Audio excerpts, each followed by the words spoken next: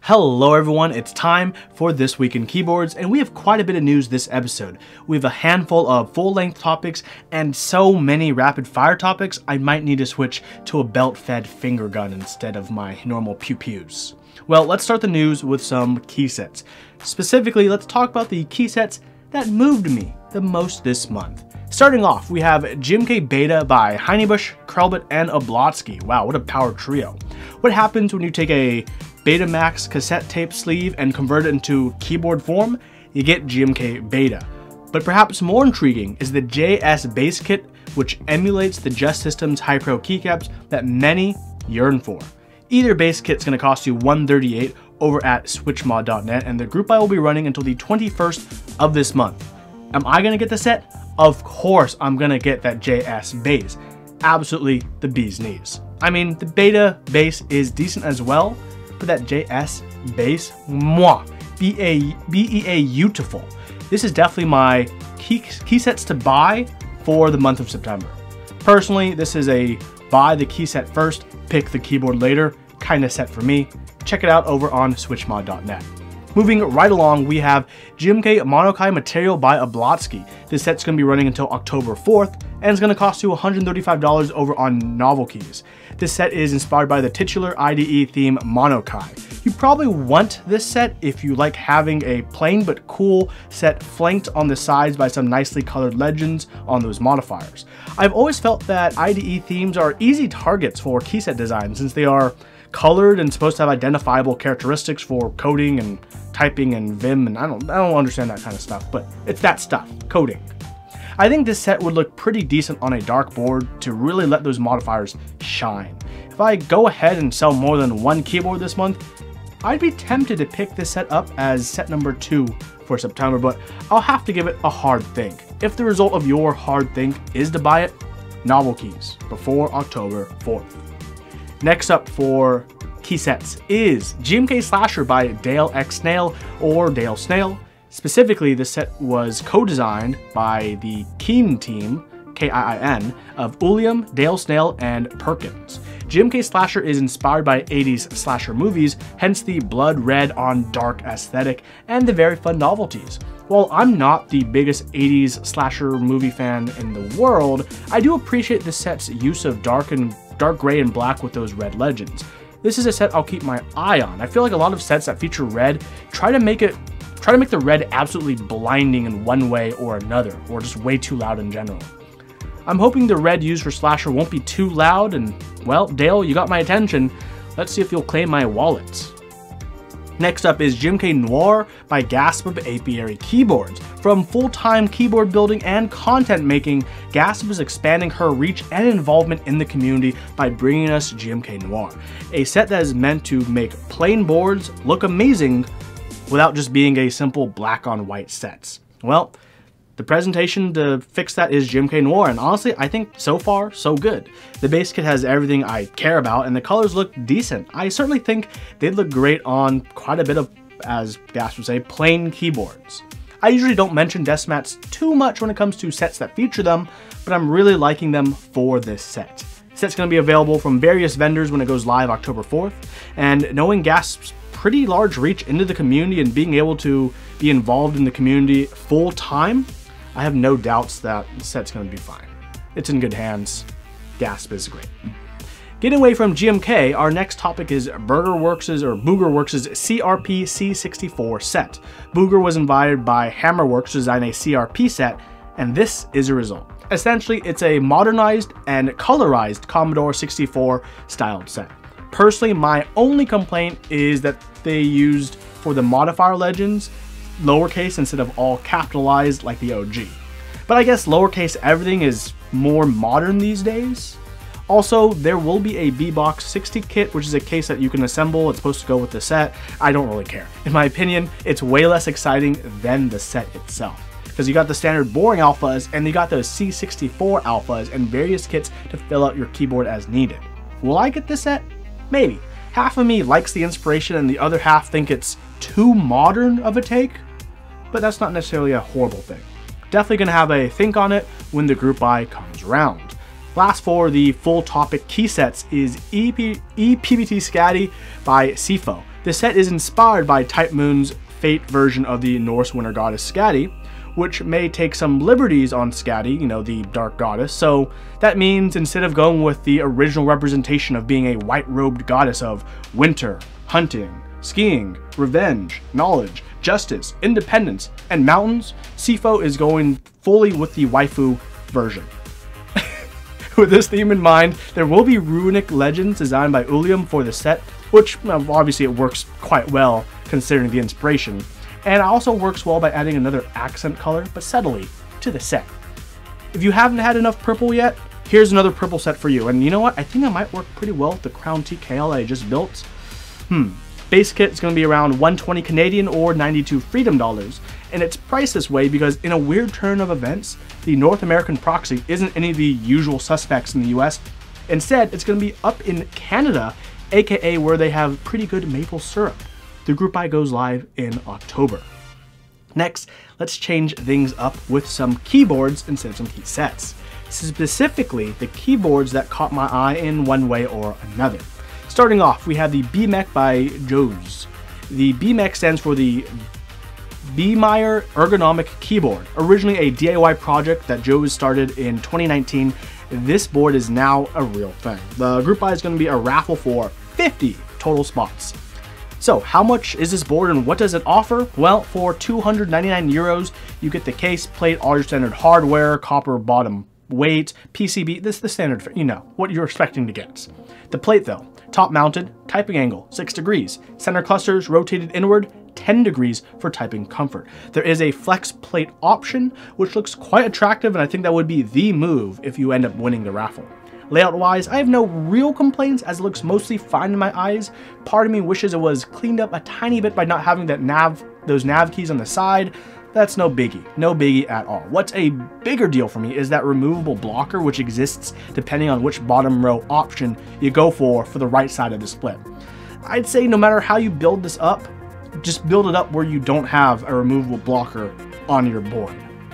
I do like these six optional LED indicators on the uh, the bottom front, um, bottom top I mean. Sorry, I just had to swat a piece of dog hair out of the air. Um, but overall, it's going to be a hot swap option, solderable option. Great choices for the community. It's going to be in black, anthracite, gray, dark blue, dark purple. Um, yeah, or you can just have the aluminum just pure bead blasted, no ano if you want to take it to your own anodizer, powder coater, Cerakote, whatever finish you want on aluminum. So, will you be in it to win it this Sunday for the raffle? A large part of me wants to at least try, but I don't know if it's in the budget for this month personally. Good luck to everyone entering the raffle.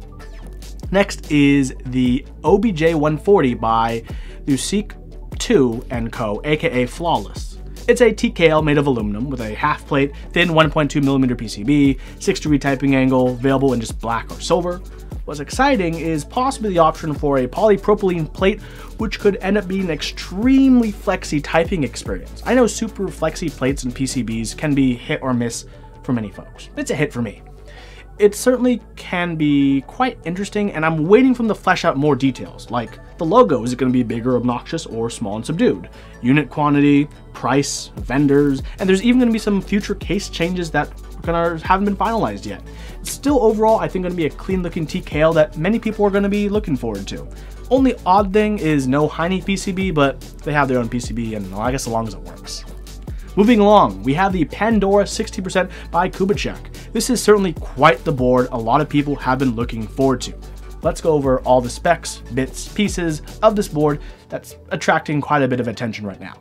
So the Pandora is a 60% that features the MX HHKB, standard ANSI, or Win keyless top pieces, uh, support for a 10U spacebar if you're crazy about that, USB-C daughter board, USB 2.0 hub, rotary encoder knob on the back of the board, a steep 9.5 typing angle, um, let's see, aluminum or polycarb case, gasket mounted with 12 different gaskets, uh, plates available in aluminum, brass, steel, POM, polycarb, FR4, titanium in either half or full plate for all of those, flex cuts on the PCB for the end half plates, RGB underglow. Uh, there's a lot of things going on. The bottom has a very unique design with a very unique cool weight. It's got that accent stripe around the board. It's got the badge in the corner. It's got a lot of things going on. And with all this in mind, first come, first serve this Saturday, 50 special edition units, 150 to 300 total units available. And if the current pricing on the website is correct, you're looking at paying around 600 plus dollars for the Pandora 60%. Is it worth $600? I don't know. Unfortunately, it's not in my budget for sure to find out personally, but I definitely see why many would find hype in this board in both how it looks and what it offers. So I salute you all who are preparing your alarm clocks and calendars to win that first come first serve. Well, that's it for the primary topics this week, and wowee, that took that took a cool minute. But hey, you know what time it is? It's time for the rapid fire. Okay, let's make this fast, let's make this easy. First, we have the Frusta Experimental, which is actually a pretty attractive numpad, O-ring, gasket mounted, top mounted, or tray mounted. You got options, crazy. If it's not too expensive, I'll probably buy one. EPBT Night Market. Tie alphas are the coolest part of the set by far. The rest, eh. S7.7, a macro pad by Velocifier that requires a that features a top blocker. I guess if you missed out on Simon's IS0, here's a macro pad where you can find a place for your ISO enter. Kat Autumn. Funny story. On Tinder, I recently matched with a woman named Autumn, and I was gonna say some crass line about, you know, how the seasons are changing and I want to get inside Autumn already. But now that I said that out loud, I probably shouldn't send her that message. Well, this little off topic was definitely more exciting than the Kat Autumn set, so you get that instead. Pinnacle 65, literally a joke, but one that's pretty on point. After this video, click the link and just read through all of OP's post on the pages of, of, of the interest. It's A+, plus, A+. plus. Clap 65%. I don't like that side badge blocker. Also, this is from Clap Studio, and this is what I believe is their first board that I know of. So you get to tell people, I got the clap if you get this board. Next row in Pac-Man 86 is the Marissi Sesantaksinki. What I don't care. I butchered the pronunciation. Probably. I did. 65% board, simple aesthetics. Depending on the details and how they develop, maybe when it goes to group buy, it might make it into a main topic of the show. When it makes it to the group buy phase, we'll just have to wait and see. SA Magica. Imagine having a render with the superior purple modifiers, but not having that as a kit option at the moment.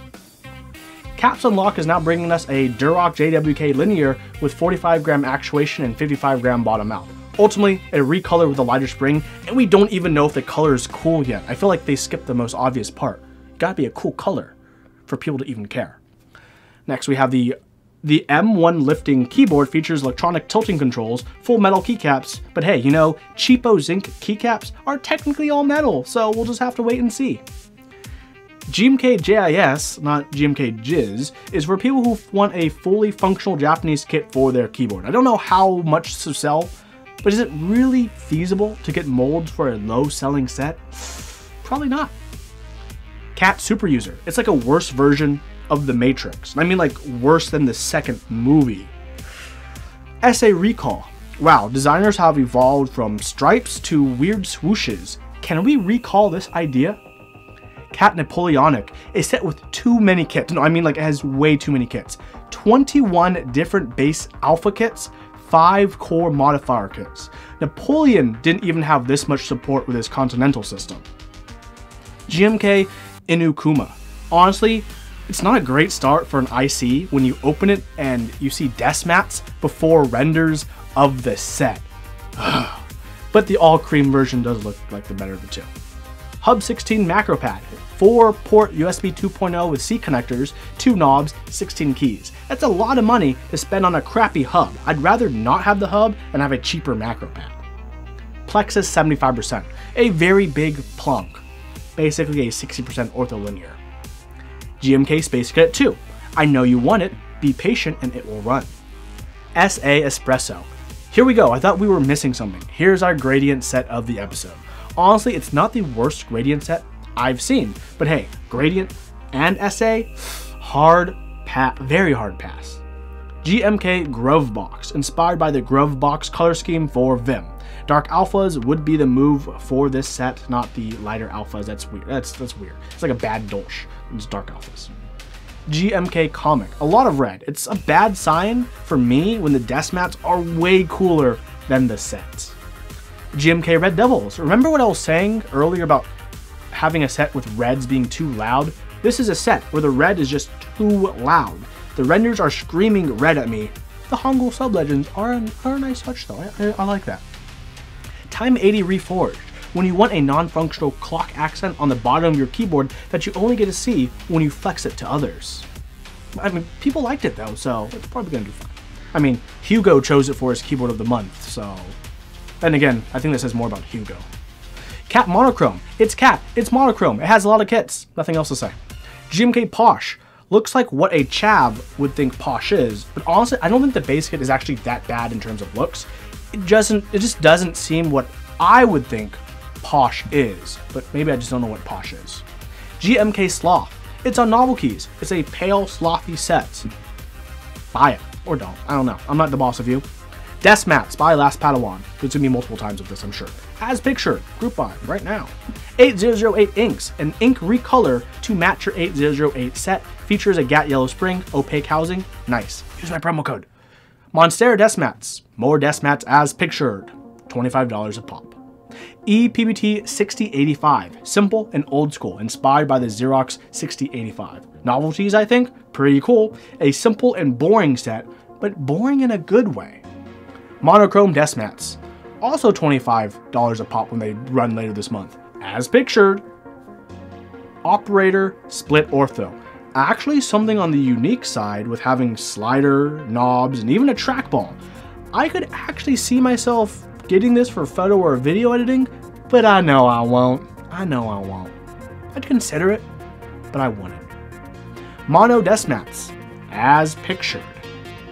SCOG reboots actually a worthwhile board to get rebooted refresh, a trend I'd like to see more often. I don't know why people still want to add knobs to things, but the rest of the considerations, like adjustable typing angle and gasket mounting, are modern and probably more welcome than, than a knob. The Fockery 82. It's like if Fox Labs Orange TKL and the CA66 had a baby in Chernobyl. Cam Playground.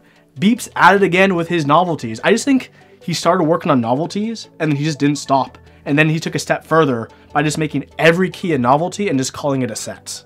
But if you like Beep, you know what you're in for. Swiss 60%. A, uh, it's a keyboard that looks like cheese. I mean, that's it. I hope you don't have trypophobia. Well, that's it for this week in keyboards. I think I should never cover desk mats again. If you agree with me, let me know, or if you disagree with me, let me know as well. Also, let me know if any of the news in this episode excites you. Does it move you? Are you going to join any group buys this month, or are you lying low and waiting? Thank you everyone for getting through this lengthy episode of This Week in Keyboards, and uh, it was a long one. But was it worth it? I don't know. What do you guys think? Twice an episode every other week? Or an episode every week that's slightly shorter? Mm, it's hard to say. Right now, I'm kind of leaning toward an episode every other week and having other content in the weeks in between, like streams, reviews, and other videos. Let me know what you think on different formats for the show, whether it's going to be weekly or bi weekly. But thank you, everyone, so much for watching. And don't forget, keep on keyboarding. Taking it too long this time. We're done.